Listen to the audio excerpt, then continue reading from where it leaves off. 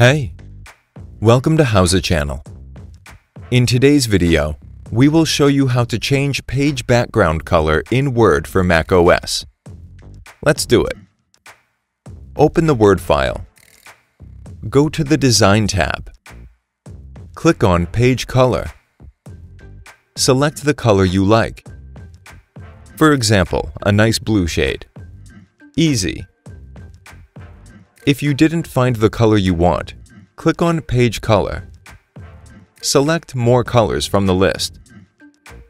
Click on the color wheel and select the color you like. Click OK.